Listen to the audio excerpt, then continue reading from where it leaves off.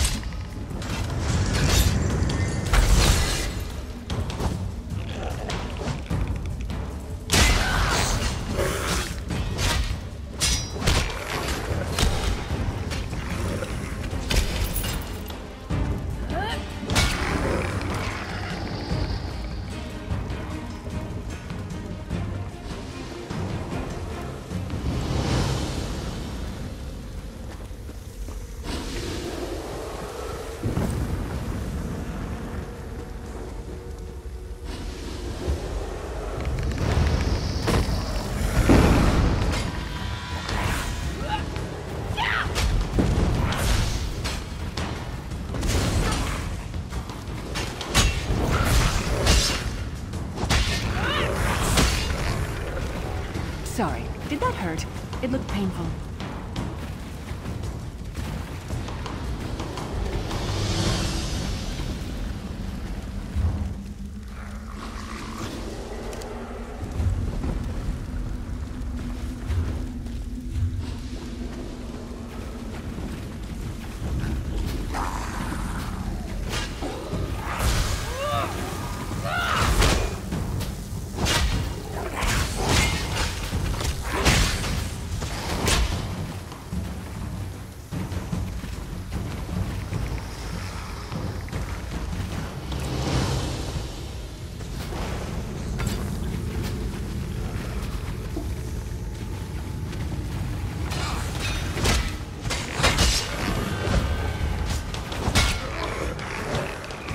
Know they're ugly when an axe in the face is an improvement.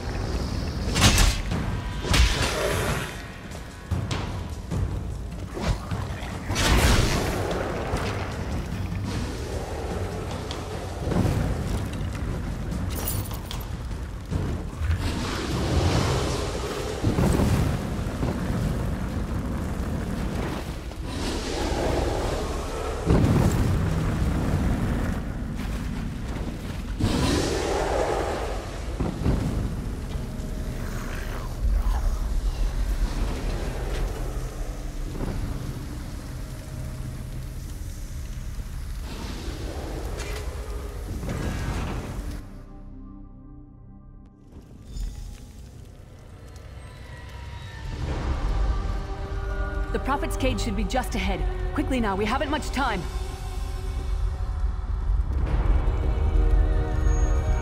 All right. The good news is we made it here in one piece, and the Prophet looks unharmed. Now the bad news. It's going to be up to you to keep him safe and get him back to Tamriel. I'm not going with you. There's a trick to opening the cell. The only way for a prisoner to leave is for another living soul to take their place. I need to swap places with the Prophet. Believe me, I wish there was, but I don't see anyone else here with a beating heart, do you? If Molag Bal isn't stopped, he'll destroy everyone and everything we've ever loved. Once it's done, get moving. The Prophet will know where to go, but he'll need your eyes and your protection.